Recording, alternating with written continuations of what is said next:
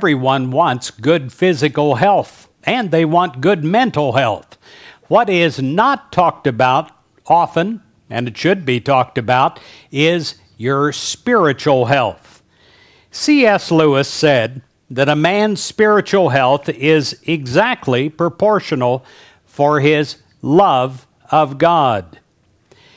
If we are to enjoy spiritual health that God intends for us, we need to develop the proper love for God.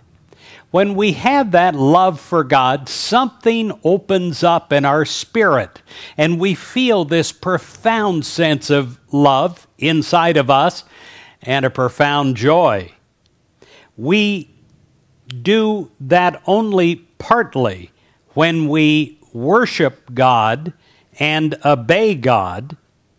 We we have to open up more and truly be in love with our Creator. When we worship God faithfully and obediently and invite God's love into our hearts, when we truly worship God by allowing God to direct our days and our lives, we'll sense God's presence and God's love for us.